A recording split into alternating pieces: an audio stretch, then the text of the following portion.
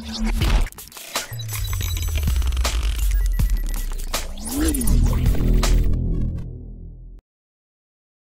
Friends இந்த வருஷம் நடக்க இருக்க ஐபிஎல் மேட்ச்சில் சென்னை சூப்பர் கிங்ஸ் அணியும் ராஜஸ்தான் ராயல்ஸும் வந்து விளையாட இருக்காங்க.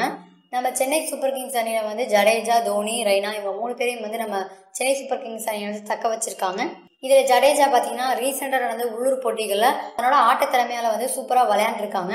இவங்க வந்து விஜய் ஹசாரே அப்படின்ற போட்டியில் வந்து ஏழு பவுண்டரி நாலு சிக்ஸர் நூற்றி பதிமூணு ரன்களை குமிச்சிருக்காங்க இதை பற்றி நம்ம ஜடேஜாட்ட கேட்டப்ப அவங்க என்ன சொன்னாங்க அப்படின்னா இந்த வருஷம் நடக்க இருக்க ஐபிஎல்ல தோனி தலைமையில் சென்னை சூப்பர் கிங்ஸ் அணிக்காண்டி நான் விளையாட போகிறேன் இந்த ஐபிஎல் தொடரில் எனக்கு பேட்டிங்க்கு அதிக வாய்ப்பு கொடுக்கறதா தோனி வந்து என்கிட்ட சொல்லியிருக்காங்க.